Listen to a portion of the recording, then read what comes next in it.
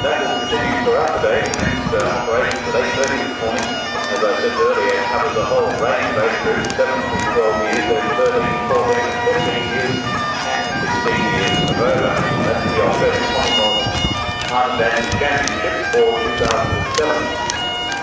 In addition to that, there'll be the Premier Dancers and National and Traditional Premiership, Premier Events,